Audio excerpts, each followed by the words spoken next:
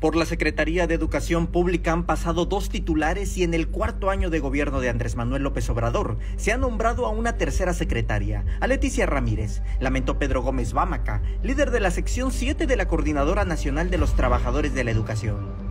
Como en el pasado llegó don Esteban, luego doña Delfina, estamos hablando de ya tres secretarios de educación en el país, nos preocupa que en una secretaría de esta naturaleza no esté alguien permanente con el espíritu de querer construir verdaderamente lo que se ocupa en México para la educación.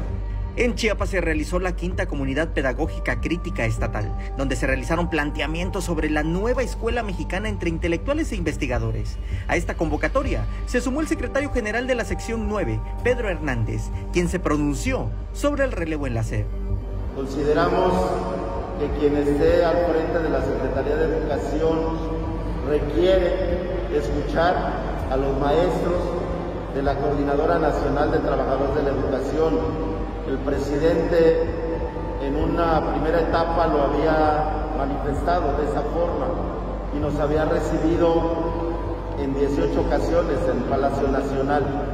Sin embargo, desde el 2020, como ustedes saben, están detenidos todos los procesos de diálogo, de solución de las demandas más sentidas del magisterio. Pedro Gómez Bámaca lanzó que la Secretaría de Educación se ha vuelto un trampolín político, toda vez que Delfina Gómez Álvarez abandonó el cargo para competir por el gobierno del Estado de México, y es por ello que los programas educativos quedan abandonados desde el gobierno. No obstante, la CENTE genera programas y foros para que el magisterio no desatienda la educación.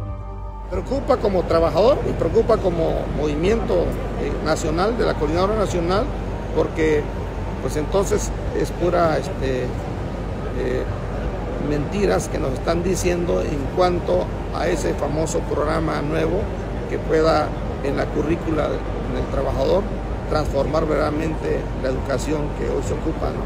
Y, por eso yo aplaudo el esfuerzo de mis compañeros, no solo acá en Chiapas, sino a nivel nacional, porque estoy totalmente convencido que como se está construyendo con espíritu, con esfuerzo, con dedicación, es, seguramente el producto va a ser mejor que el año pasado.